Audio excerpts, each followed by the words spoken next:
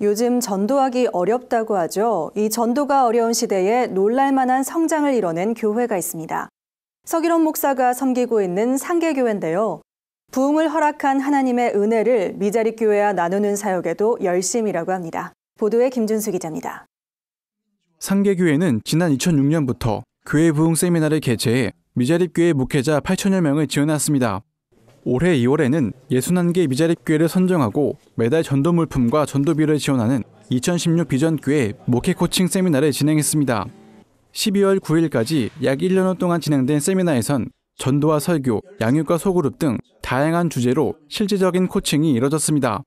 세미나에 참석한 목회자들은 한 목소리로 상계교회의 섬김에 큰 힘을 얻었다고 말합니다. 어, 재정 상태라든가 인원이 부족해서 하지 못했었던 음, 그런 것들을 정말 원 없이 1년간 전도했습니다.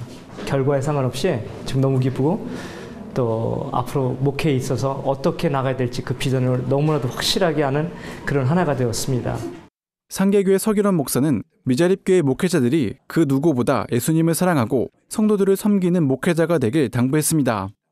한 해 동안 우리가 교회 자립운동 여러 가지 다 했지만 그 가장 이 우리 파운데이션 우리 base는 예수님 사랑입니다. 예수님 사랑.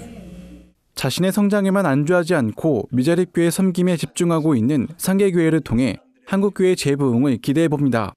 GOODTV 뉴스 김준수입니다.